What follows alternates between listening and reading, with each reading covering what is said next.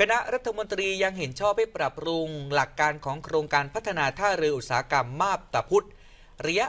3 ช่วงนะครับสะระยะ 3 ชุดช่วงหนึ่งนะครับ หลังจากที่มีการเจรจาคัดเลือกผู้เสนอ ปรับปรุงแล้วซึ่งจะมีการเปลี่ยนแปลงจำนวนเงินร่วมลงทุนของรัฐ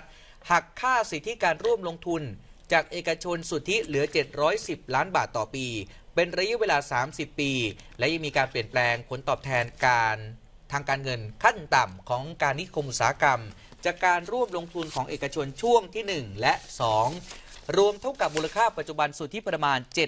7,621 ล้านบาท หรือเทียบกับอัตราคิดลดร้อยละ 6.48 ครับ